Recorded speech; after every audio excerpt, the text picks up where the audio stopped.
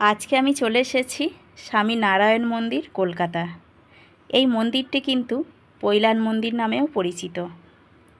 আমার আজকের ভিডিওর মাধ্যমে এই মন্দির সম্পর্কের সমস্ত তথ্য আপনারা পেয়ে যাবেন। কীভাবে আসবেন? কখন মন্দির খোলা থাকে? কখন ভোগ বিতরণ করা হয়? সব কিছুই আপনারা জানতে পারবেন আমার আজকের ভিডিওর মাধ্যমে। প্রথমেই বলি, কীভাবে আসবেন স্বামী নারায়ণ মন্দির কলকাতায়? যারা ট্রেনে করে আসতে চান, মাঝের হাট স্টেশনে নেমে অটো ধরে আসতে পারবেন। আর যারা মেট্রো ধরে আসবেন, জোকা মেট্রো স্টেশনে নেমে অটো ধরে আসতে পারবেন।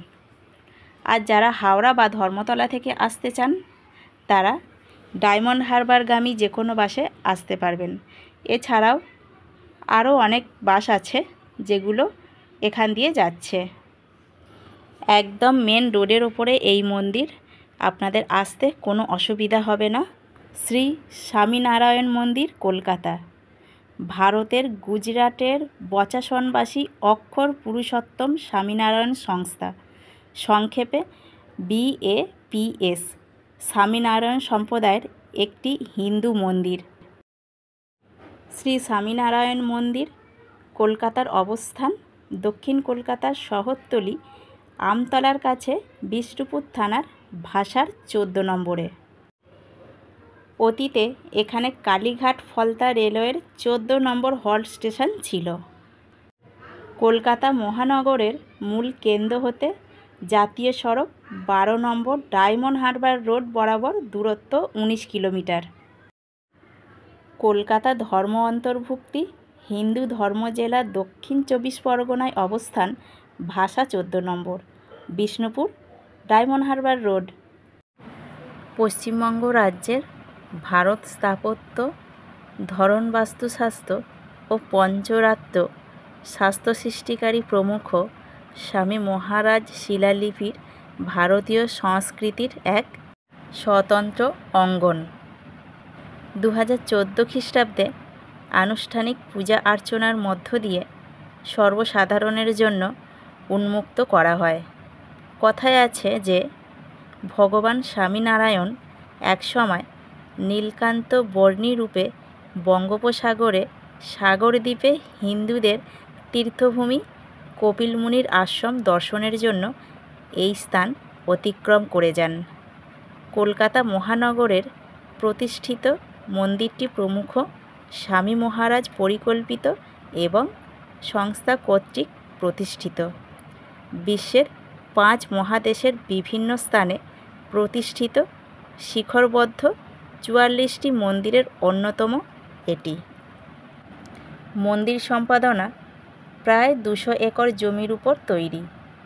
এই শিখরবদ্ধ মন্দিরের অনেকগুলো অংশ রয়েছে, প্রধানত মার্বেল। রাজস্থানের গোলাপি বেলে পাথর আর লাল পাথরের ব্যবহার করে হিন্দু সংস্কৃতির ঐতিহ্য মেনে এক অসাধারণ স্থাপত্য কীর্তিতে মন্দিরটি গড়ে তোলা হয়েছে। মন্দিরে প্রবেশ করতে গেলে মন্দিরের দুই ধারে জুতো জমা রেখে প্রবেশ করতে হয়। এই মন্দিরে কোনো ভিডিও বা ছবি তোলা নিষিদ্ধ। যদি তুলতে চান, তাহলে কর্তৃপক্ষের পারমিশন অবশ্যই নিতে হবে। কারুকার্য করা পাথরের মন্দির। মন্দিরের ভেতরে শান্ত মনোরম পরিবেশ। বাইরের নানান বাহারি গাছপালা আর সন্ধ্যায় আলো আঁধারি পরিবেশ। যেমন উপভোগ্য তেমনই পূজা অর্চনায় মন নিমেষে প্রসন্ন হয়। মন্দিরের ভগবান স্বামীনারায়ণ, শ্রী ঘনশ্যাম মহারাজ, শ্রী হরে কৃষ্ণ মহারাজ, রাধাকৃষ্ণ, সীতারাম, হনুমানজি, শিবপার্বতী এবং গণেশজি পূজিত হন। মন্দিরের গর্ভগৃহে আছে ভগবান স্বামীনারায়ণের সোনার মূর্তি, যেটা অর্থের মাধ্যমে জলাভিষেক করানো হয়। কোনো পুজো পাঠ করা হয় না এই মন্দিরে। বেলা সাড়ে এগারোটা থেকে ভোগ প্রসাদ দেওয়া হয়। ভোগ প্রসাদ নিতে গেলে আগে থেকে কুপন কাটিয়ে রাখতে হয়। সাড়ে এগারোটার মধ্যে এলেও হবে। ভোগ প্রসাদের মূল্য পঞ্চাশ টাকা। এই হচ্ছে ভোগ প্রসাদ গ্রহণ করার জায়গা।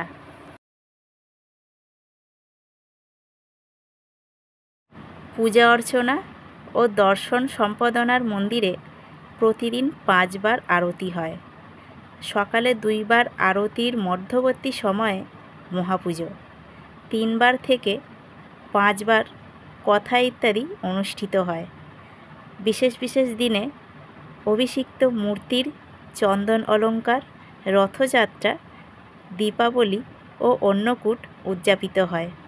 সর্বসাধারণের জন্য মন্দির নির্দিষ্ট সময়ে উন্মুক্ত থাকে। সন্ধ্যা আরতির সময় প্রত্যহ বহু জনসমাগম হয়।